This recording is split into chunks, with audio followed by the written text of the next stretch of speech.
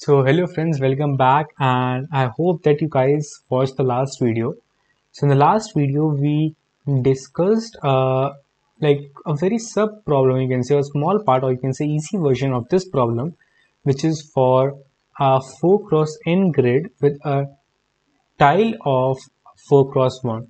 Here the grid is of size n cross m and a tile of size 1 cross m. So similarity, you can clearly see by now that there we had a number called 4. Here we had a number called m. So firstly, I should like it's a proper hint that oh yeah here like in that case we had 4. In the case right here we have m. So like you can pause the video right here and try it for yourself because it is nearly same the small cases you need to uh, like check so yeah let let you should try first then move on. So i hope that you guys have tried. Now let's move on to the problem that we have a n cross m grid. So like i represented it as a uh, rectangle basically. So let us for now let us in like suppose that my n is more than equal to m which means that my n it can be m or more than m. Let us suppose for now Further, we will check, okay, what will happen if it is less, but let us suppose that it can be more. So that I can basically uh, visualize is that it as a, a rectangular grid with height n and breadth m. Okay, so yeah, the first thing which comes in my mind is if I have a 1 cross m tile, then I can place it vertically or horizontally. In the last video, I showed that, okay, if I have two options and I said that I can place it vertically or horizontally, so I will add those ways to get my number of ways for placing my 1 cross m tie on this n cross m grid. So if I let it suppose as f of n, then if I place it vertically, see if I place it vertically, so it will become something like this vertically. So it will occupy one cell right here and m cells right here, right?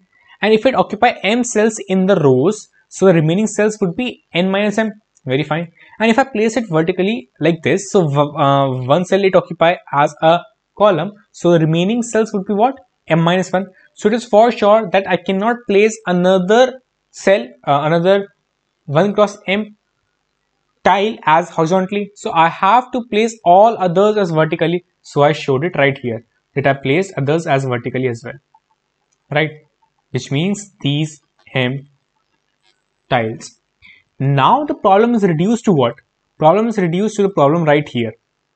I need to find my answer for this n minus m rows, which would be nothing but f of n minus m. Because see, here the answer I need to find for n rows. So I had my for f of n, I represented it as f of n. Here I need to find for f of uh, like m minus m rows. So I, it will be f of m minus m. Now the another thing which comes in your mind is that or like if you place it horizontally. So what you will do that if you place it horizontally okay very fine. Number of rows remaining will be what? What what, what? n minus 1 because see it will occupy one cell only. So number of rows remaining would be n minus 1 now the problem is reduced to a problem right here.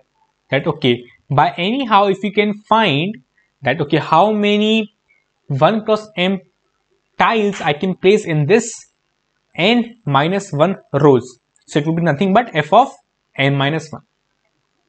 Pretty fine. So like now it is like very easy for you that okay you had these options you had these options and it is all right here so you can simply add these options to get your answer for placing your 1 cross m tiles on your n cross m grid so recurrence relation you have obtained right here that f of n would be nothing but f of n minus m plus f of n minus 1 very fine. And you can simply also see that your m is constant right here because see m is fixed m is never changing. Your n will only change. Very fine. Now comes the base case part. So in the initial beginning i said that okay uh, let us suppose your n is more than equal to m but in reality your n can be anything. So what if it is less than m? Which means that if your n looks something like this, which means it is small and m is much larger. So you cannot place your 1 cross m tile vertically. you have to actually place it horizontally only and you have to place all of these horizontally which means that it will only be a one way so whensoever your n is less than m which means that you have to place all your 1 cross m tiles horizontally so it is only a one way. Very fine. So I will place it as that if my n is less than m so I will have only one way right here.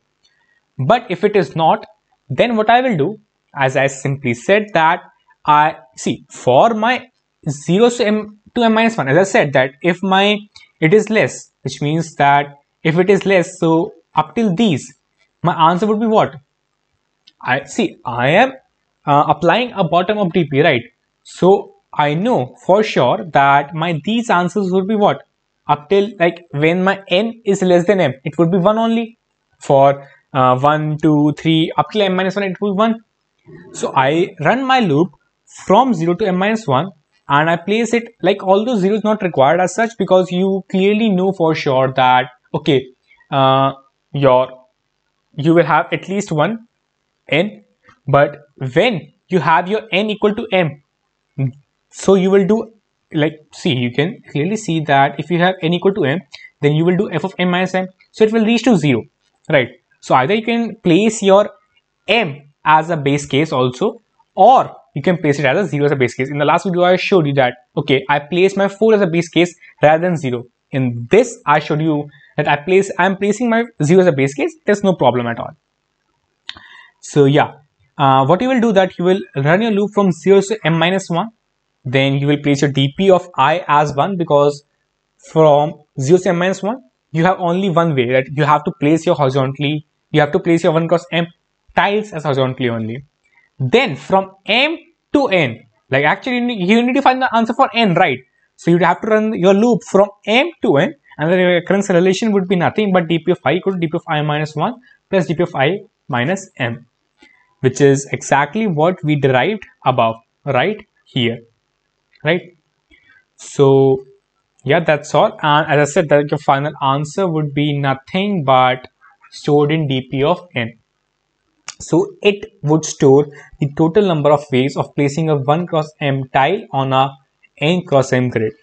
The code you can see also right here i've written that if by anyhow that you notice that your n is less than m so you will just print out 1 because it will have only one way.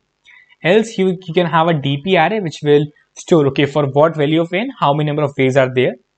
Now as i said that from 0 to m minus 1 you will run a loop that you will fill your dp of i as 1 very fine. Uh, then you will run your loop from m to n because basically you need to find the answer for n n. So you need to run from your like befores up till the last one which means n to get the answer for f of n which means that I will have dp of i equal to dp of i minus 1 plus dp of i minus n. Thus, at last, I will print my answer for dp of n, right? So, like it was very, very easy. Like if you have watched the last video and understood it clearly, so it would have been very easy for you to understand this. And yeah, like it was only a slight variation of n and m. Like it's basically to uh, confuse you in n and m and to make you think that your m is variable but actually it is constant. So yeah that's all for this video. I hope that you guys have understood it although it's pretty easy. But like in future we will have harder problems of it. And in the last video like in the last last video we also had a bit harder problem. So yeah uh, like it was an easy one but i hope that you guys must have enjoyed it if yes then do the like button and until then be happy keep reading. So see you guys in the next video. Bye